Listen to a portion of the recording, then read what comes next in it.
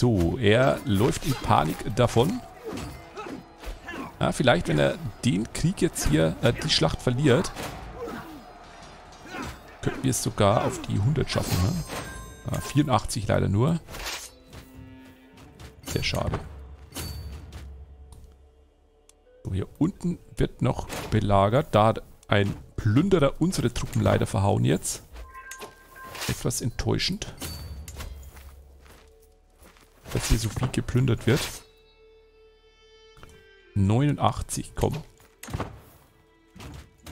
Wenn wir die beiden jetzt noch belagern, wenn wir euch mal kurz hier reinstellen, dann müssten wir doch auf die 90 kommen.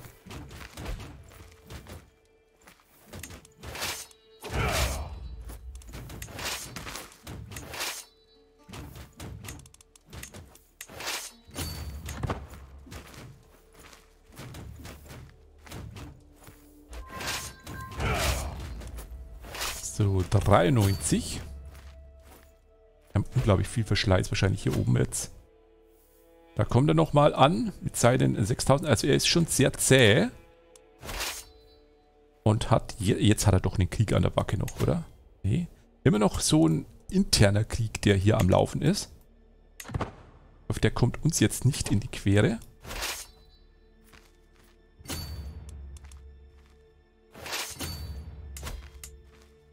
Müssten eigentlich hier rein, aber dann müssen wir die gegen die alle hier kämpfen. Wir gehen lieber nach Morar. So, hier wird noch belagert.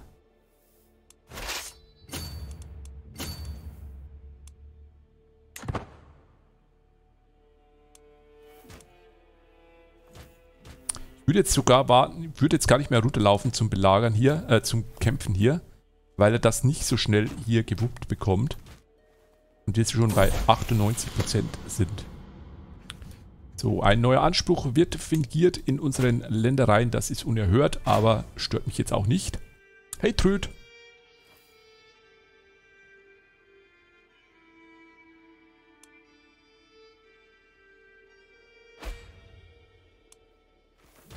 Der Plünderer müsste doch jetzt gegen die 3600 kämpfen.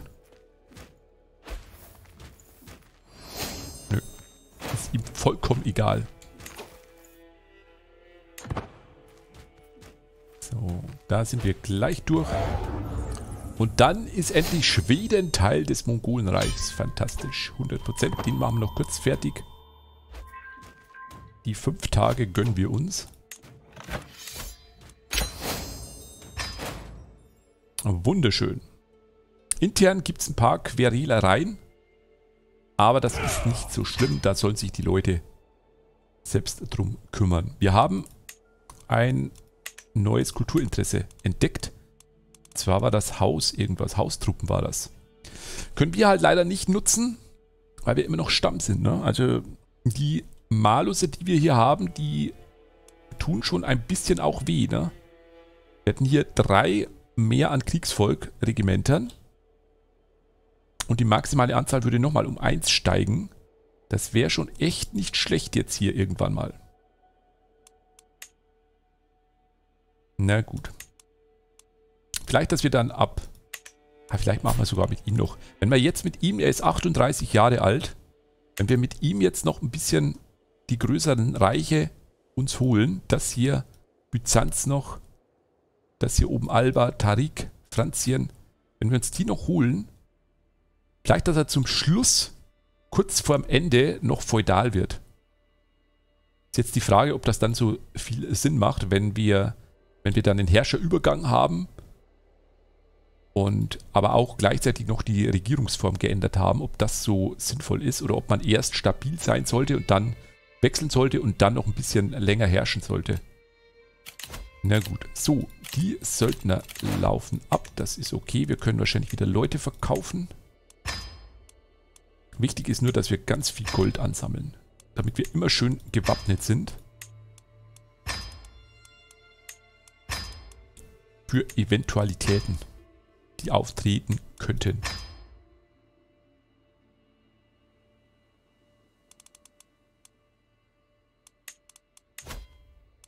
So, die hauen wir alle immer schön raus hier, damit die ganzen Griesgrummel-Vasallen alle gleich mal schön weg sind. Wir haben nochmal wenig Kontrolle. Regensburg, in München immer noch wenig Kontrolle. So schlimm kann das doch gar nicht mehr sein jetzt. 78 ist nicht wenig. Also ich sag mal, unter 50 ist wenig. So, hat immer noch Angriffskrieg hier drin mit minus 48.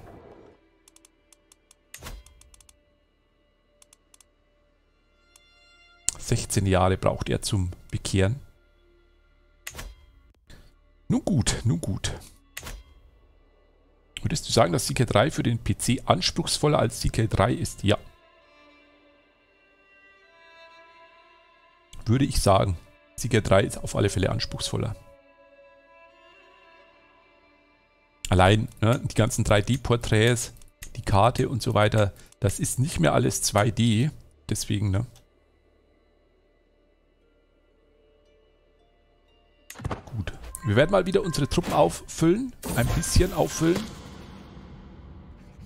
Und dann geht es gleich in den nächsten Krieg. Leider keine Unterwerfung mehr möglich. Ist er denn jetzt... Er ist wahrscheinlich sehr sauer jetzt. Das heißt, wir müssen ihm gleich mal ein bisschen Gold zuschmeißen. 37 Gold für 55 Meinungspunkte mache ich gern. Und wir werden ihn noch etwas beeinflussen. Und vielleicht eine Bekehrung könnte annehmen. Wir versuchen mal, ihn mit Gold noch zu bekehren. Dann ist er nochmal etwas lieber zu uns. Unruhe herrscht zwischen den Kindern. Odilo. Der Odilo, da gefallen mir die Eigenschaften noch nicht so wirklich, die der jetzt hat hier. Vor allem ungeduldig, ne? Ruhig könnte er bleiben. Diplomatie, Ränkespiel. Schreckensverfall. Schrecken wäre schon ganz wichtig eigentlich für uns. Ruhig behalten äh, äh, Quatsch, äh, tapfer bekommen. Tapfer wäre auch ganz gut. Oder religiöser Eiferer. Hm. Da er ja nicht mehr in den Bildungsweg geht, sind die Religionssachen eigentlich egal. Das heißt, ich würde eher... Ah, Schreckensverfall ist halt heftig. Aber die anderen Boni sind schon echt gut. Wir bleiben mal bei ruhig jetzt. Ich setze ja meine Hoffnungen auf den Letztgeborenen hier, auf den Kleinen hier, der aktuell den Ausbildungsschwerpunkt äh, Bildung hat, was Quatsch ist. Der sollte dann, wenn, dann schon in die Diplomatie gehen.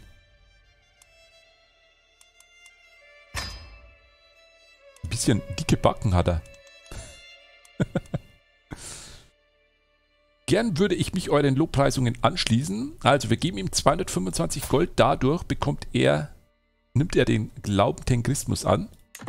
Und ist nur noch bei 59 jetzt. Ansonsten, was hat er noch für ein Problem? Er möchte einen Sitz im Rat. Oh, er ist sehr gut für den Rat geeignet. Da werden wir dich mal austauschen. Hier ist Königin Sonnengul drin. Die müssen wir leider rausschmeißen. Das, da kommt er jetzt rein. Dann sind wir bei minus 9. Das hier wird bald wegfallen. Nicht rechtmäßiger Lehnsherr. Fremde Kulturgruppe. Bescheiden. Krieg erklärt. Verlangte Bekehrung. Ja, ja, das, das geht alles. Das heißt, wir müssen aber unser, unser Beeinflussungsziel wahrscheinlich jetzt nochmal ändern auf die gute Dame hier, auf die Königin Songul. Oder, nee, Gold kann ich hier leider nicht mehr geben. Dich können wir noch ein bisschen bestechen.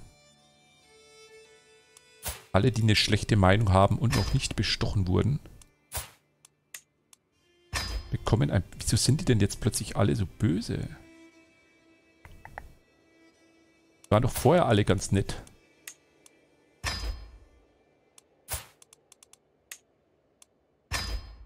Na gut, wir haben immer noch 8000 Gold. Passt schon, passt schon, alles gut.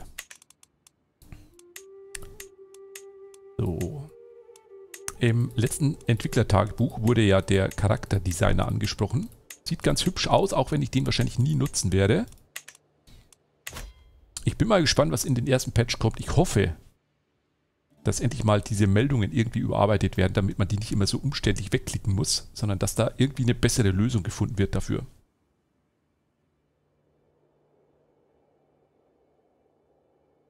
Die Stammesgebäude sind automatisch weg, wenn man feudal wird. Ja, deswegen, ne, du kannst da auch nicht wirklich upgraden oder bauen. Das nervt ein bisschen, ja. Ich glaube, bei Crusader Kings 2 war es so, dass das dann äh, halbiert wurde oder so. Also du hast deine Gebäude, deine Gebäude wurden quasi umgemünzt in Feudalgebäude, aber die wurden dann halbiert. Das fände ich eigentlich eine bessere Lösung. Ob ich einen eigenen Glauben habe, Robin? Nee, so weit sind wir noch nicht. Wir brauchen ja noch 2500 Punkte. Plus den entsprechenden Lebenswandel dafür. Ich überlege gerade, wie wir noch am besten Frömmigkeit bekommen könnten. Hier müssen wir ja investieren. Ne? Hier würden wir zwar Lebenswandelpunkte bekommen. Was ist denn der nächste Punkt? Gemeinde bekehren Fortschrittstempo.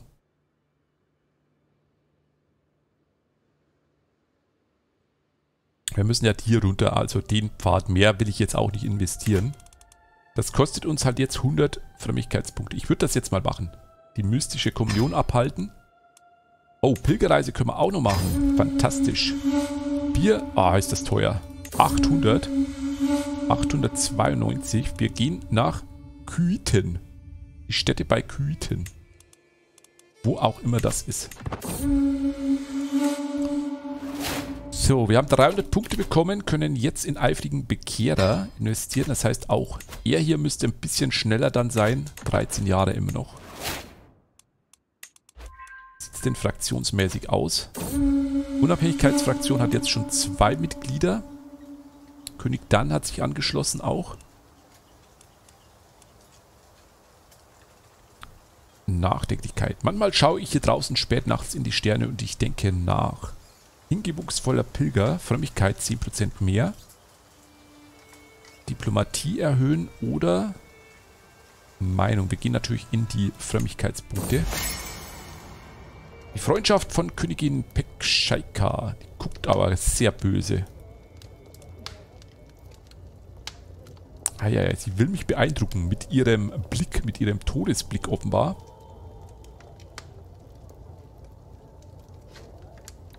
Äh, ich werde den, den Glauben wahrscheinlich gar nicht ändern, weil jedes Mal, wenn du den Glauben änderst, kommt jetzt darauf an, wie viele Punkte wir dann... Oh, wir haben jetzt 2400 Punkte schon. Wo habe ich denn die jetzt plötzlich her? Ich habe immer auf Bekanntheit geguckt. Ja, perfekt. Ähm, je nachdem, ob wir uns das dann noch leisten können. Wir, wir, können ja mal reingucken, was wir da so an Religionsänderungen machen könnten. Aber in der Regel geht es nur darum, dass wir einmal reformieren, damit wir später feudal werden können, wann immer wir wollen. So, einer Freundschaft annähern mit dir. Ach, das ist gar nicht unsere Ehefrau. Ich dachte, das ist unsere Ehefrau. Ja, wir können uns ja mal hier ein bisschen anfreunden mit ihr. Das ist kein Problem. Die Söldner laufen ab.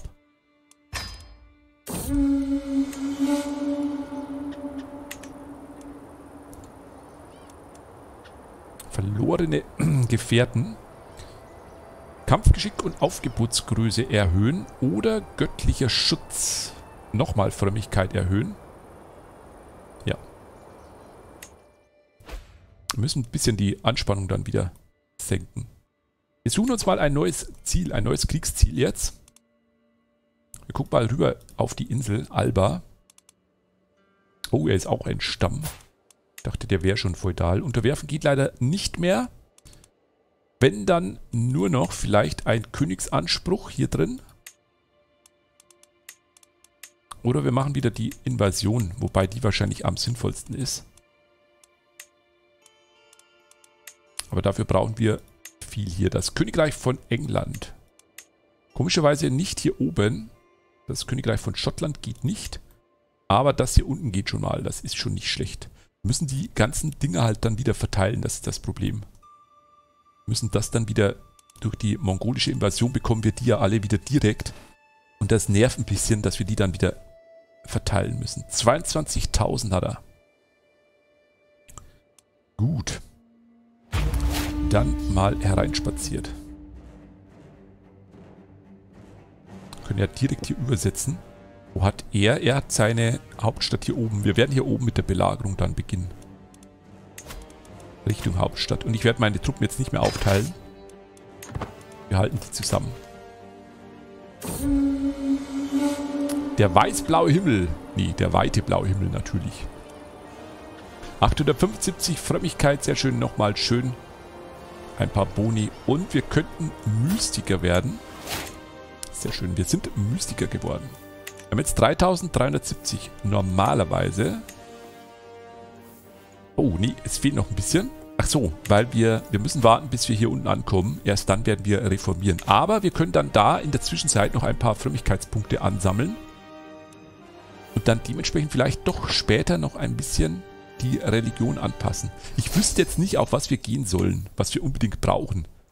Aber na, vielleicht, dass wir das eine oder andere noch ändern. Kreuzzug für Lothringen. Schon wieder, ich bin schon wieder im Krieg jetzt hier mit reingerufen worden. So, wir kommen wieder zurück.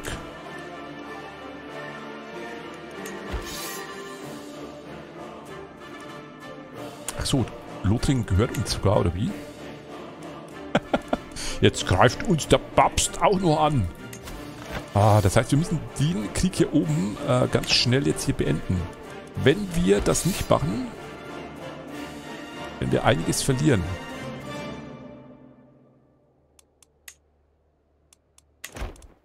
Ach Mann, jetzt geht's hier auf Lothringen. Jetzt gerade eben, wo wir Krieg erklärt haben. Wir könnten natürlich weißen Frieden hier mit Alba machen. Aber vielleicht schaffen wir es noch rechtzeitig. 14 Monate jetzt.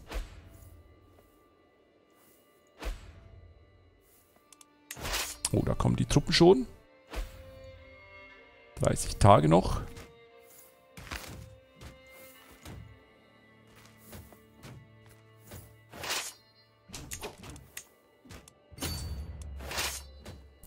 So, wir gehen mal rein. Eine Tochter wurde geboren. Richvara soll sie heißen.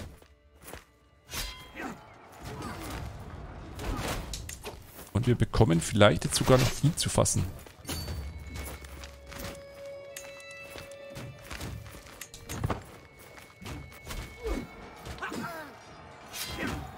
Der Krieg um Alba relativ schnell vorbei ist. Ah, 73 ist richtig gut. 73 ist schon mal richtig gut jetzt.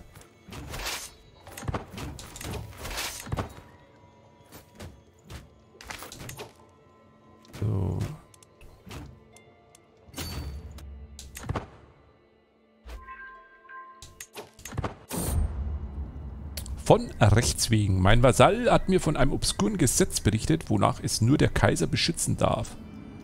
Gewöhnlich würde man auf ein derart archaisches Gesetz nicht weiter achten, doch es bietet mir eine einzigartige Gelegenheit. Herzog Hartneid, mein Vasall und derzeitiger Herrscher von der Grafschaft von Parsberg, könnte etwas zurechtgestutzt werden. Will ich das? Er ist sauer. Na komm, er darf seinen Titel behalten. Wir würden einen Anspruch bekommen. Nee, komm, der darf seinen Titel behalten. Dafür hat er eine gute Meinung dann. So, wir holen uns den Rest der Truppe hier unten noch. Vielleicht reicht es sogar, wenn wir nur ein bisschen Krieg führen.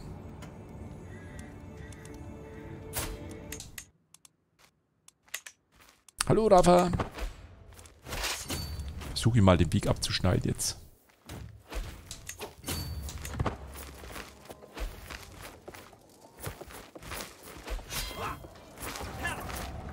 So.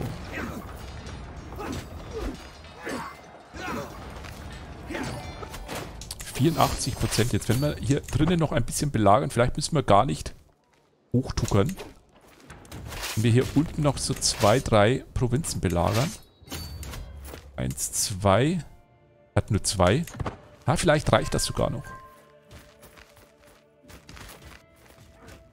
Hey! Oh Gott, ein schwieriger Name. Paranoix. Dankeschön für den Prime Sub. Vielen, vielen Dank. Dankeschön. Ich hoffe, ich habe deinen Namen richtig ausgesprochen. Ich weiß es nicht. Ich nenne dich einfach mal Paranoix. Vielen, vielen Dank.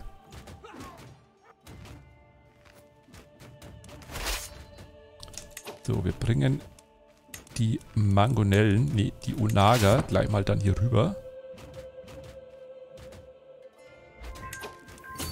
Und die 17.000 holen sich die restlichen Truppen hier. Ich war beim Wechsel von Stamm zu Feudal enttäuscht, weil ich mir plötzlich Mühe mit den Kriegsgründen geben musste. Ja, deswegen warte ich ja immer noch. Deswegen warte ich immer noch, dass wir, dass wir nicht feudal werden wollen, weil wir so gute Kriegsgründe aktuell haben. Oh, er wäre sogar selber hier mit dabei. 97. Jetzt, wenn wir hier noch fertig belagern, dann war es das. Sehr schön. Okay, dann können wir uns nämlich jetzt gleich mal zum einen natürlich um die ganze Verteilung hier oben noch kümmern. Das müssen wir noch schnell machen. Und in zwei Monaten beginnt der Kreuzzug schon gegen uns. Unerhörterweise. Oh Gott, jetzt was? 4, 4, neu... Achso, 4, 4. nee, nee, Para heißt das. Ich als alter Liedsprecher, ich weiß das. Und solange mich der Para nicht anderweitig korrigiert, werde ich ihn auch Para nennen. Oh Gott. Das wäre jetzt peinlich gewesen, wenn ich die Flasche nicht aufbekommen hätte. Dann hätte ich mal kurz den Stream unterbrechen müssen. So. Das ist das einzig Blöde an diesem Kriegsgrund, an der mongolischen Invasion, dass du halt ihr alles quasi direkt bekommst dann und dann schön alles verteilen musst. Das ist sehr, sehr lästig. Hm. Wenn wir mal gucken, hier Wessex, wenn wir das gleich mal quasi vergeben, dann haben wir schon mal die Herzogtümer. Dann vergeben wir immer ganze Herzogtümer jetzt. Und zwar Nichtherrscher, Religion, Tengrismus, Kultur ist Bayern. Und gute Verwaltungswerte müssen sie haben. Und vielleicht nicht ehrgeizig. Und der bekommt jetzt alles genau. Sehr schön. Dann hier drüben. Könnten uns natürlich Essex hier behalten, aber ich will jetzt auch nicht. Ne? Wir haben jetzt momentan, jetzt müssen wir mal kurz gucken. Aktuell Bayern. Ja, wir könnten uns, Essex könnten wir uns zum Beispiel noch behalten mit London hier oben.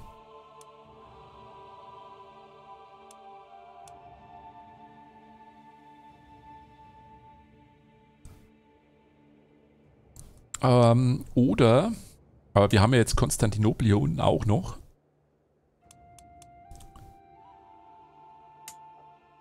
Hier hätten wir halt Sondergebäude und das Fürstengebäude auch noch drin. Ich glaube, ich behalte mir erstmal Essex.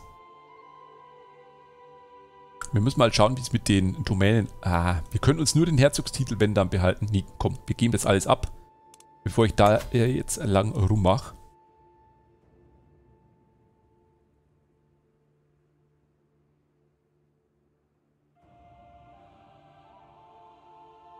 Äh, wir spielen eigentlich, war es Ziel nur, dass wir hier Richtung Bayern gehen mit den Mongolen und in München dann beidisch werden. Aber der Durchgang macht mir aktuell sehr viel Spaß und deswegen werden wir den noch ein bisschen weiterspielen. Ich weiß aber noch nicht, wie lang oder was wir machen oder das ändert sich immer von Tag zu Tag, was wir als nächstes machen. Ich habe jetzt nicht wirklich einen großartigen Plan, wohin diese, die Reise gehen soll. Finde ich aber für Crusader Kings Verhältnisse auch nicht verkehrt. Also ich mache das immer ganz gern, dass man sich so ein bisschen treiben lässt mit seinen Eroberungen und seinen Geschichten, die da auf einen zukommen. Das ist schon okay, das kann man schon so machen. Man muss nicht immer vorab gleich festlegen. Oh, wir könnten gleich mal den König machen. Komm, du bekommst mal den Königstitel. Oder, nee, wir geben einem dann später den Königstitel.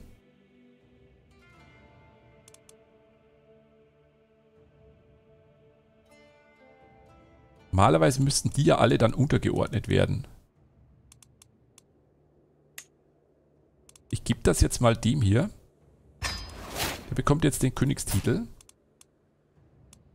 Und wenn ich jetzt hier unten zum Beispiel das Häuptlingstum von Kent vergebe, dann müsste der meines Wissens jetzt auch dem, dem König untergeordnet werden. Ah, der untersteht quasi uns jetzt wieder. Na gut, dann müssen wir das später nochmal noch mal direkt machen. Bisschen schade, dass das jetzt so ist. So, hier wisse können wir... Hier wisse...